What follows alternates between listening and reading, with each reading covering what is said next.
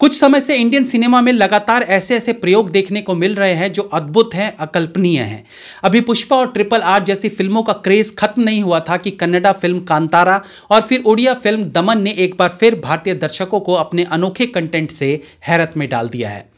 ऐसा नहीं है कि फ़िल्म जगत में समय के साथ पहले सुधार नहीं हुआ था। ऑफ़ कोर्स हुआ था, हर आने वाले समय में कुछ नया देखने को मिल रहा था, वो चाहे कंटेंट के मामले में हो या सिनेमेटिक एक्सपीरियंस के मामले में। लेकिन कोरोना काल के बाद ये बदलाव बड़े रूप में देखने को मिल रहा है। लगातार रीजनल फ़िल्म इंडस्ट्रीज़ कुछ न कुछ नया एक्सपेरिमेंट कर रही है। इवन बॉलीवुड में भी नए एक्सपेरिमेंट देखने को मिले हैं। वो चाहे चंडीगढ़ करे आशिकी टाइप की फ़िल्म हो या ब्रह्मास्त्र बट वो एक्सपेरिमेंट कारगर साबित नहीं हुए क्योंकि चंडीगढ़ करे आशिकी जैसी फ़िल्म हमारे कल्चर में सटीक नहीं बैठती। और ब्रह्मास्त्र फ़िल्म जो अपने रूट से जुड़ी फ़िल्म बनाई भी तो वो टेक्निकली उतना प्रभाव नहीं छोड़ पाई। और अगेन फ़िल्म एक समय पर आकर बॉलीवुडिया रूप धारण कर लेती है। यानी लव स्टोरी जो लोगों को उतना अट्रैक्ट नहीं कर पाई। But still at least they are trying अब तेलुगु फ़िल्म इंडस्ट्री से एक और कुछ हटके फ़िल्म आ रही है, जिसका टीजर ये संकेत दे रहा है कि फिर एक अच्छा कंटेंट हमें देखने को मिल सकता है। फ़िल्म का नाम है हनुमान, जिसके टीजर पर आज की चर्चा रहेगी। हनुमान एक सुपर हीरो फ़िल्म होगी जो हमारे भारतीय सिनेमा में कोई आम बात नहीं है। सुपर हीरो पर हमारे यहाँ ज़्यादा फ़िल्में नहीं बनी हैं। सुपर हीरो के नाम पर हमारे पास शक्तिमान सबसे बड़ा और अच्छा एग्ज़ाम्पल है।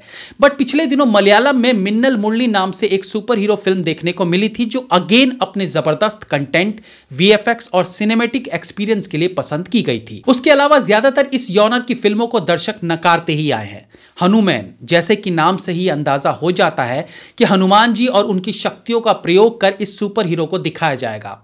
हमने किताबों में सीरियल्स में फ़िल्मों में हनुमान जी का वर्णन सुना है, जो अपने आप में ही रोंगटे खड़े कर देने वाला होता है। वो चाहे बचपन में हनुमान जी द्वारा सूरज को निगल जाने वाली कहानी हो, एक छलांग में समुद्र पार करने वाली कहानी हो, शक्तियों को याद दिलाने वाला पल हो, या संजीवनी बूटी के लिए पूरे पर्वत को उठा लेने वाला दृश्य हो।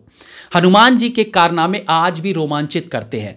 ऐसे में जब उन्हें एक सुपर हीरो की तरह फ़िल्म में दिखाया जाएगा तो कौन होगा जिसे एक्साइटमेंट नहीं होगी। हाँ ये ज़रूरी नहीं कि सब्जेक्ट अच्छा हो तो फ़िल्म भी अच्छी होगी।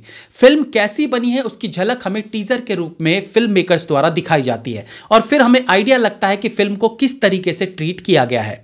हनुमान का टीजर करीब एक मिनट बयालीस सेकेंड का है। टीजर के हिसाब से थोड़ा बड़ा ज़रूर है बट यकीन मानिए, ऐसा महसूस हो रहा था इसे देखते हुए कि थोड़ा सा और दिखा दो, थोड़ा सा और दिखा दो। मतलब ये एक मिनट बयालीस सेकेंड एक्साइटमेंट के उस लेवल पर ला देता है, जहाँ कई बार पूरी फ़िल्म भी नहीं ला पाती। ऑफकोर्स हनुमान जी पर फ़िल्म बेस्ड है तो टीजर की शुरुआत में ही हनुमान जी क्या है, वो कितने बलशाली हैं। तीनों लोगों में उनका कैसा दबदबा है, ये बताना आने वाले विजुअल्स के लिए एक्साइटमेंट को बढ़ा देता है। इस टीजर में सबसे पहले हनुमान जी के बारे में बताया गया है, जो उनकी शक्तियों को दर्शाता है। शुरुआती सीन मुझे एक पल को आदि पुरुष के टीजर की शुरुआत सीन की याद दिला रहा था बट ये वैसा नहीं था।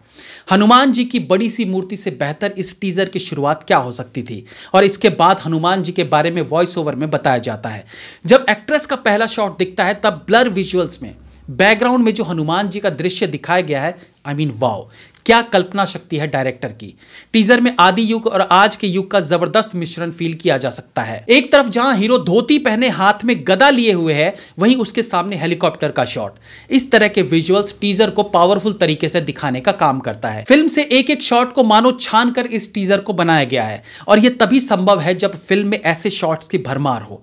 ऑफकोर्स टीजर में कुछ अनरियलिस्टिक एक्शन सीन्स देखने को मिले हैं बट अब जब फ़िल्म ही बजरंग बली के पावर पर बेस्ड सुपर हीरो की है तो हीरो की पिटाई से विलन आकाश में तो उड़ेंगे ही ना। इसमें कुछ भी सरप्राइजिंग नहीं है। अब तो आम फ़िल्मों में भी हम 12-15 गुंडों को हवा में उड़ते स्वीकार कर चुके हैं। तो ये तो हनुमान जी स्वयं मार रहे हैं। इनके मुक्के से विलन का एटलीस्ट आकाश तक उड़ना तो बनता ही है। ये बहुत अच्छी सोच है कि सुपर हीरोज के मामले में हमने स्पाइडरमैन बैटमैन जैसों को फॉलो नहीं किया। बल्कि अपने भारतीय सुपर हीरो का इजाद किया, जो हमारे देश की संस्कृति को दिखाने का काम करेंगे। हॉलीवुड में किसी भी फ़िल्म का देसी वर्जन अगर आप ढूंढेंगे तो अपने यहाँ की किसी न किसी कहानी में वो मिल जाएगा। लेकिन हमें आदत है हॉलीवुड को फॉलो करने की। और उसी आदत को अब बदला जा रहा है कांतारा, दमन और अब हनुमान जैसी फ़िल्मों से। नो डाउट टीजर इंप्रेसिव है। पचास करोड़ के बजट में बनी ये फ़िल्म फ़िलहाल अपने वीएफएक्स से प्रभावित कर रही है। और देखो यार टीजर जो है वो फ़िल्म के बारे में काफ़ी कुछ बता जाती है। लगभग इसी अवधि के टीजर से आदि पुरुष की क्वालिटी का पता चल गया था और अब इसी डेढ़ मिनट के हनुमान के टीजर से भी इसकी क्वालिटी का पता चल रहा है। आई होप आगे भी इस तरह के कंटेंट आते रहेंगे क्योंकि अब फ़िल्म इंडस्ट्री बदल रही है। Have a nice day